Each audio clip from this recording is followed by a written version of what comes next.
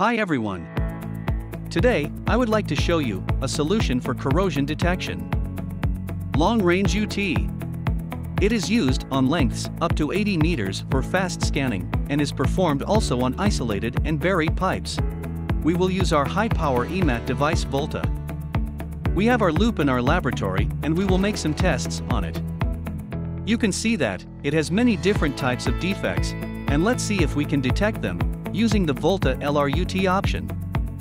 As our first step, we need to decide our inspection point, which is where we will place our strip and the axisymmetric ribbon.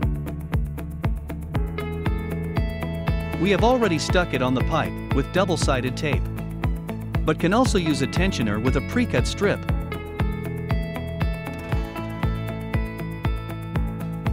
After attaching the strip and the ribbon on the test location, we need to choose the correct setting for this inspection. Thanks to Volta Software Wizard, it is very easy to set it up. All you need to do is to enter your inspection details, such as the characteristics of your component, inspection point, etc. And start the inspection. Now, it is time to start the inspection, which literally takes 2 seconds. We just need to press the play button and then press the stop button.